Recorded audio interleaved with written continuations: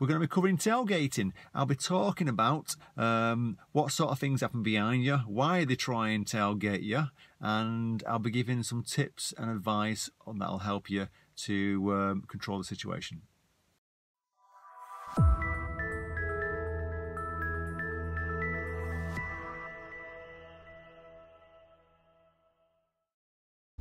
So we're just talking about um, tailgating today. So I'll just get going because I'm going to the next lesson.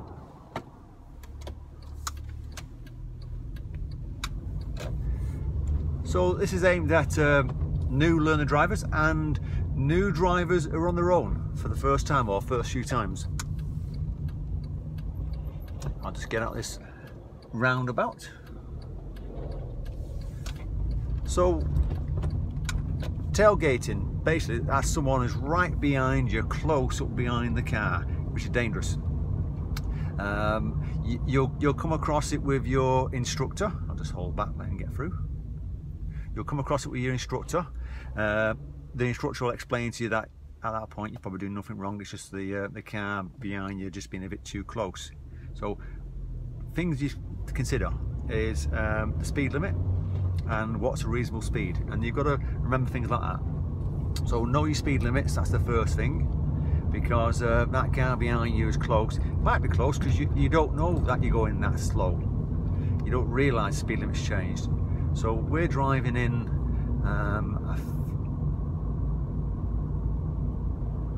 I thought it was 30, I'm not saying that. So we're driving in, in a 40 zone at the moment I saw through me and that, that sign being sideways. I, I knew it was 40 and it, it, said 30. Anyway, going back to this. So we're driving in the 40 zone, but you can't always do 40 because of the fact that um, there's hazards ahead of you or the traffic ahead of you is going at a, a speed that's safe for them.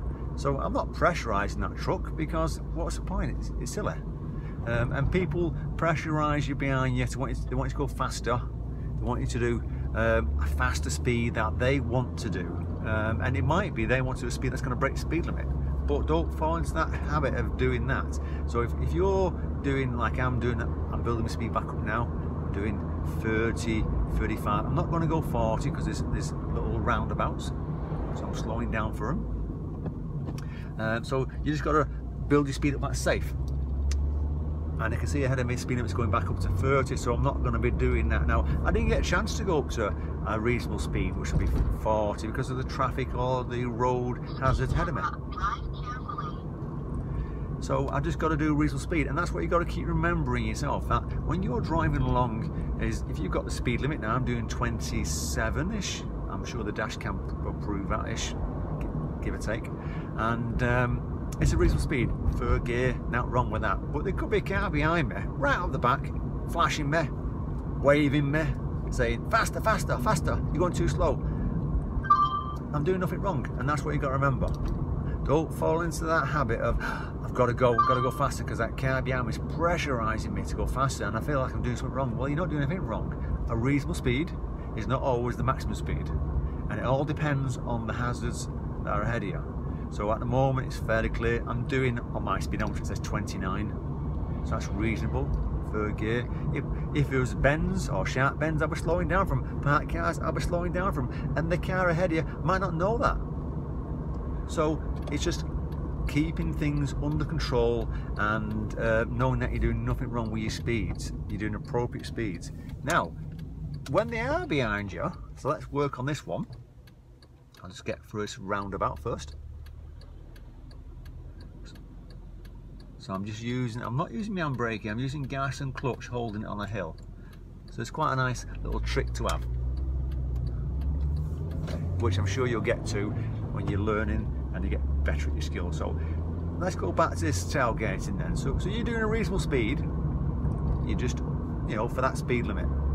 So we're still in the 30 zone, um, I'm doing 29, but at the moment it's clear and straight. But as it gets more hazards, I'll slow down a bit more in anticipation of the hazard and the car behind is pressurising you. Now what you've got to remember is, if there's a car behind your tailgate and you're doing nothing wrong, one thing is going to happen, is gonna, they're going to try and overtake you. It might be a man or a woman. Um, I've seen lots of women tailgating in the past, so you can't say it's just men, it's, got, it's both. Um, so you, you've got to say to yourself, I'm expecting to overtake me, so I keep an eye on the traffic ahead of me because I don't want to drive into anyone. I don't want to run someone over by getting distracted what's behind me. And do a little bit more checking of the the side mirror, the rear view mirror, than you would possibly do normally, just glances and keep an eye on what's ahead of you. So I've got a mini roundabout. I'm slowing down slowly as I get towards it because I'm expecting a car on my right to pull out. Now, you've got to also remember that car behind who's flashing you or waving you on is going to try and overtake you when they can. So if they see an opportunity that they think is good enough, it might be dangerous for us. So we've got to anticipate the fact that they're going to overtake you in some silly places, then it's not a surprise then. But if you are slowing down, just remind yourself, I don't want to slow down hard because that car behind me might drive into me. So I'm slowing down anticipation of the hazards so that the car behind me's got to slow down also. So you're on the brake early and soft and letting them know that you're slowing down. And if they wave and flash you, then that's up to them, innit? But don't get intimidated by it because you're doing nothing wrong. And that's what you've got to keep reminding yourself. I've done nothing wrong. Um, I'm just doing what I'm supposed to be doing, which is driving safely. And if they want to try and overtake me when it's dangerous, then that's their choice. But I'm not going to fall into that category of being a, a silly driver. I'm going to use what's what's safe. So I'm hoping um, it's reassuring you, this quick video on, on tailgating. And uh, if you have got a dash cam, by the way, um, and you're in this sort of incident, then you can also pass it on to the to the police. If they're dangerous, if they're doing careless driving, and they're, involved in an accident, the police will want to know what's caused it. So if you've got a dash cam to prove that that car behind has gone into the back of you because because they've been that close, I'll just let him go because she's cutting across the, the junction. Then um, it's not your fault. So good luck with your driving, um, and remember these situations they're not that often. You know they're not they're not that often, so don't worry about them. And good luck with your driving lessons. And um, if you are on your own and it's for the uh, first few times and you're just wondering, God, is it my fault? Then just remember, reasonable speeds, know the speed limit, and if there's someone behind you expecting to overtake you and the other thing also to think about is that if you're slowing down slow down early and soft not hard not hard and late okay? Good luck and be safe on the roads